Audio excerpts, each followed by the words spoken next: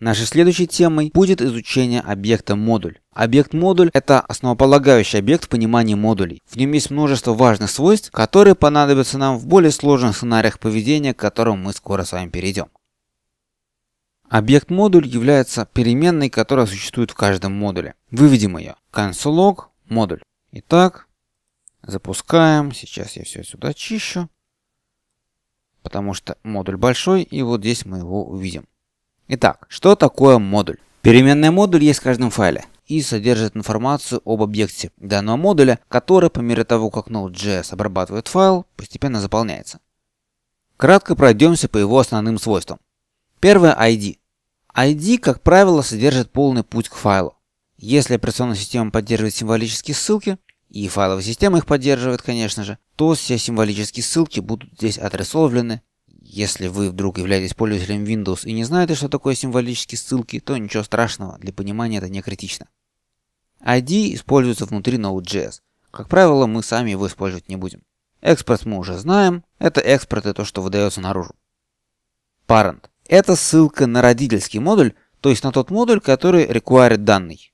FileName. Имя файла полное с учетом отрисованных ссылок. Loaded. Загрузился ли модуль. На момент, когда мы вводим в console.log модуль, этот модуль еще до конца не обработан, файл-то не выполнен до конца, поэтому loaded false. Children, соответственно, это те модули, которые данный модуль подключил через require. В данном случае тут только один модуль, который, кстати, обратите внимание, load true, он тоже загрузился. Path это тоже внутренняя переменная, как и ID, и мы ее не будем использовать. Я скажу о ней несколько слов позже, когда мы будем разбирать порядок поиска модулей с учетом путей.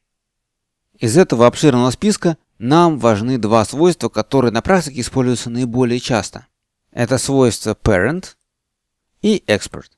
Поэтому о них мы в дальнейшем поговорим более подробно.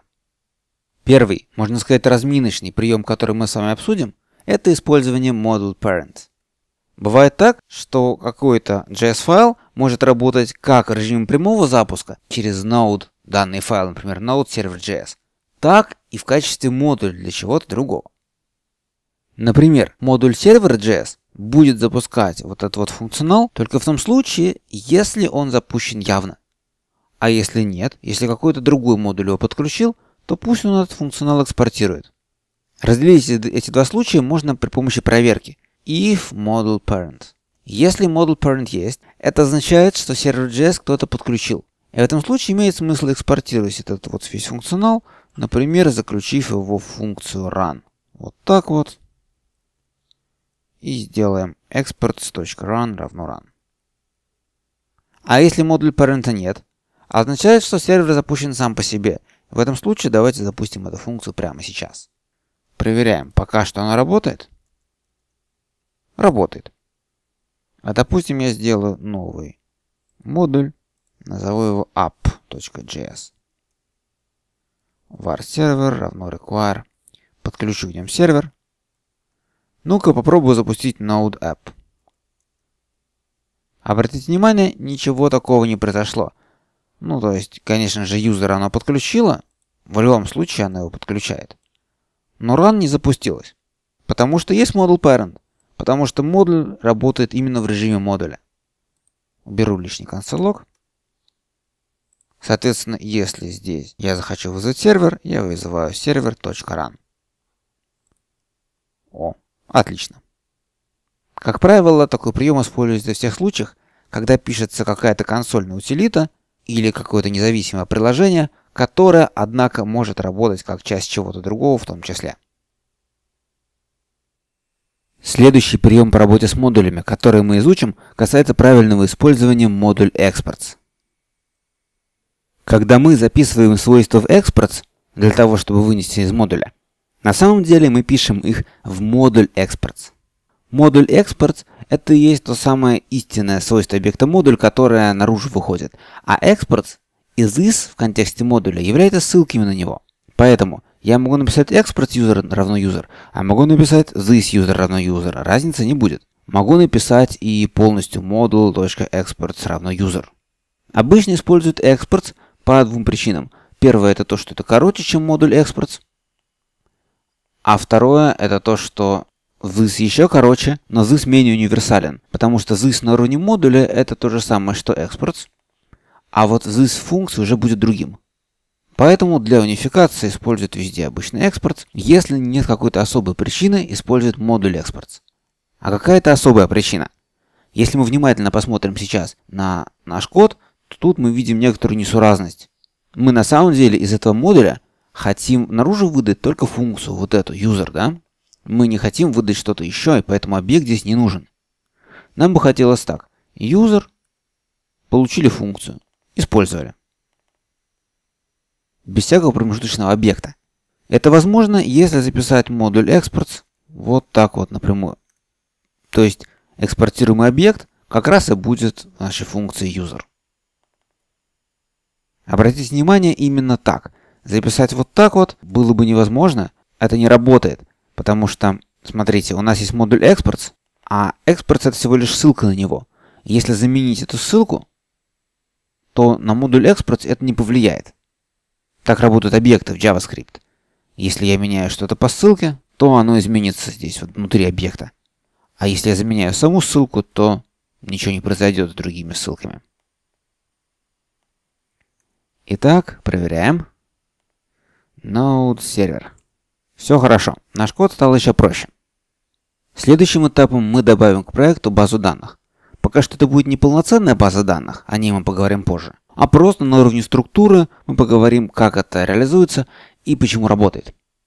База данных будет файлом db.js. И здесь у нас для базы данных прямой кандидат – это вот эти вот фразы. Давайте сразу поместим фразу в базу данных даже. Сделаю я для этого каталог db.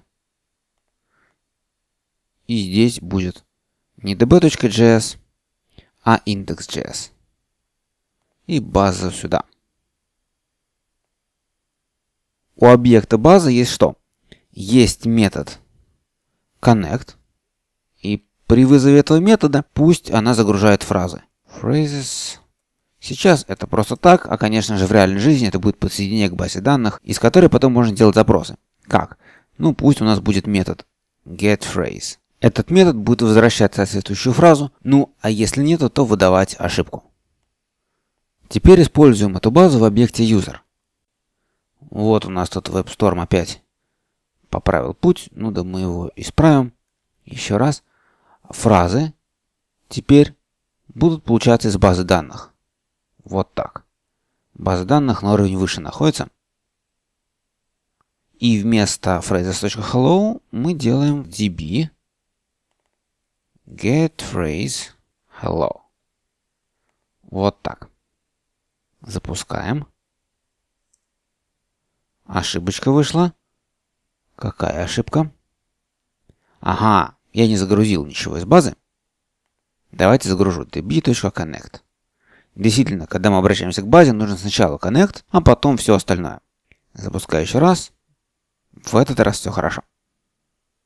А теперь, так как эта база данных глобальная для нашего проекта, то давайте я воспользуюсь ей в сервере тоже подключу объект базы вот сюда. И выведу в run console log db phrase run successful. Успешный запуск. Добавлю эту фразу в базу. И теперь несколько слов о том, как это все будет работать. Когда Node.js первый раз загружает модуль, он полностью создает соответствующий объект модул с учетом парента, экспортов и аналогичных свойств. И запоминает его у себя. Модуль ID, тот самый, который обычно является полным путем к файлу, служит идентификатором для внутреннего кэша. Node.js как бы запоминает, файл такой-то, для него создан объект модуля такой-то. И в следующий раз, когда мы получаем тот же файл, а файл-то по сути дела одинаковый, да, просто пути разные к нему, но абсолютный путь одинаковый, Node.js обращается к кэшу и берет все тот же объект. И получается, что и здесь, и здесь будет использован один и тот же объект базы данных. Соответственно, прием здесь такой. Первый раз, когда подключается модуль, он инициализуется. В данном случае используется connect базы данных. В дальнейшем модуль уже инициализован, поэтому просто его берем и пользуемся. А теперь сделаем следующий логичный шаг. Дело в том, что, смотрите, здесь мы db получаем из текущей директории, а здесь из родительской. А подумаем, что произойдет, когда мы юзер будем развивать. И у директории user будут поддиректории. Получается, что здесь я делаю require вот так. А в поддиректории мне нужно будет делать require вот так. А если я буду переносить файлы, то мне нужно следить, чтобы пути автоматически правильно обновлялись. Конечно же, IDE нам поможет в этом, но тем не менее. Как бы нам сделать такую простую штуку, чтобы база подключалась просто так? Зачем мне указывать явно путь к базе, если мы знаем, что имеется в виду одна, которая в корне, главная? Для того, чтобы так сделать, нам нужно понимать порядок поиска модулей в Node.js. Для этого обратимся к документации. Поищем Node модуль. И первая же ссылка даст нам документацию Modules HTML по модулям в Node.js. Здесь в дальнейшем я буду по возможности именно комментировать документацию, которая уже есть, разъяснять всякие тонкие моменты, нежели чем писать какие-то свои выводы. Просто потому, что документацию все равно нужно ориентироваться, ее нужно понимать. В данном случае здесь есть описание ряда свойств, о которых мы говорили, модуль, и нас интересует порядок поиска модуля вот так. Это то, что происходит, когда вызывается require. Скорее всего, если вы видите это первый раз, то не очень понятно, я постараюсь разъяснить. Итак, require модуль. Вообще в Node.js есть много встроенных модулей. Например, модуль по работе с файловой системой FS. И если это такой встроенный модуль, то require сработает тут же. И все, готово. Дальше. Если я указал путь к require, вот, в данном случае это .db, скажем, тогда Node.js поищет файл по этому пути, попытается либо найти данный файл, как указано здесь, там js, node, либо затем он пытается получить этот файл как директория. Здесь есть упоминание о package.json, мы позже поговорим про это. В нашем случае он возьмет db index.js, и это и будет файлом модуля. Ну и наконец, третий пункт. Третий сработает по этому алгоритму в том случае, если я путь не указал, и при этом это не встроенный модуль. Тогда Node.js будет его искать. Искать его как? Есть специальное название директории, которое называется Node Modules. И он поищет эту директорию сначала в текущем местоположении. То есть здесь server.js, он поищет директорию вот такую вот. Start Node Modules. Если он ее найдет, то он попытается взять модуль из нее. Я перенесу сейчас и обновлю везде пути. Да, здесь DB, уже обновление не нужно, здесь тоже DB. Запускаю эту штуку. Node Server.js. Вот, видите, все сработало. То есть оно ее нашло. В директории Node Modules. Либо, если в директории Node Modules нету, то оно поищет директорию Node Modules выше. Точка, точка, Node Modules. Там не найдет, ищет еще выше и так далее. Помните, мы смотрели такую штуку Model Paths. Model Paths это как раз все пути, по которым она будет искать. Иначе говоря, это просто текущий путь и все выше него. Это нужно затем, что, как мы с вами в дальнейшем будем проходить, можно делать директорию Node Modules, в нее ставятся внешние пакеты, внешние модули, и потом они так вот доступны. И эта директория может быть выше, выше, вообще на любом уровне выше. Может быть несколько директорий. Первая найденная, где этот модуль есть, послужит точкой остановки. Таким образом, я могу использовать вот такой вот путь, если DB есть Node Modules. Ну а что если я не хочу помещать ее в Node Modules? Вот хочу просто сделать, зачем усложнять, да? Обычно DB Node Modules совершенно ни к чему. Можно сделать и так. Потому что после того, как оно поищет все эти Node Modules и ничего не найдет, оно использует еще одно место для поиска. Это переменная NodePath. В NodePath можно указать несколько путей, по которым оно еще будет искать. В данном случае, давайте я укажу. Вот сейчас я переместил DB, я запущу, не срабатывает, не находит модуля. Но если указать NodePath равно точка, переменное окружение, если вы работаете под Windows, то переменное окружение ставится при помощи set команды, если вы из командной строки. Либо переменное окружение вы можете поправить в настройках вашего файлового менеджера или откуда вы там запускаете соответственно, notepad точка, все хорошо. Потому что точка, то есть текущий путь, добавился в список тех, по которым происходит поиск. И, наконец, кроме NodePath, по историческим причинам происходит поиск еще вот в таких директориях, то есть в домашней директории в .NodeModules, домашняя директория .NodeLibraries, и еще здесь, где префикс это префикс установки. А вообще на это можно не ориентироваться, потому что в реальной жизни мы этим пользоваться не будем, это не нужно, просто так повелось. Давно когда-то было по-другому, и от давно остались вот эти вот пути.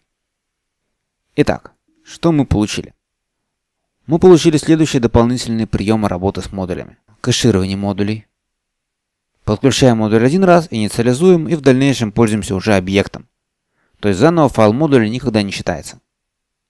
Хотя существуют такие специальные команды, которые позволяют сделать пустым кэш Node.js, то есть убрать модуль из кэша.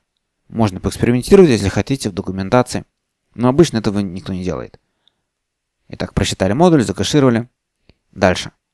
Если мы хотим, чтобы модуль у нас был глобальным, то есть искался без пути, то он должен быть в Node Modules, либо по Node Path должен искаться.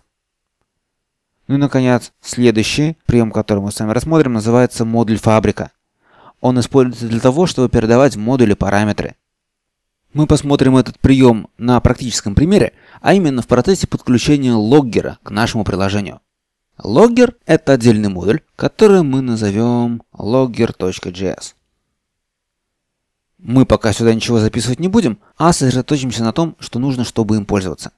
А именно, var logger или просто log равно require logger. Мы хотим что? Мы хотим, чтобы когда я вызываю log что-то, то выводилась соответствующая здесь строка, и перед ней было название модуля, который ее вызывает. Соответственно, получается, что чтобы мне логер выводил здесь именно название текущего модуля, мне нужно текущий модуль ему передать. Давайте я это сделаю. Вот. Паттерн модуль фабрика заключается в том, что я подключаю модуль и тут же передаю ему параметры. Параметры при подключении я никак не могу передать э, вот через запятую. Нет такого. Я могу получить логер и таким образом создать нужную функцию. То есть внутри логера, давайте я скопирую это в логер, чтобы было видно, как этим пользоваться. Я делаю модуль exports равно фабричная функция которая получает название модуля, который нужно логировать, и которая, исходя из этого модуля, делает функцию логер. Эта функция будет что делать? Она получает какие-то параметры, и давайте она будет передавать их консоль логу. Конечно, можно файлы вводить в базу и куда угодно. Console log.apply console arguments. Мы передадим все аргументы в console log, и давайте не просто их передадим, а еще кое-что добавим. args равно slice arguments. Делаем из arguments обычный массив и прибавляем ему модуль .filename, имя файла.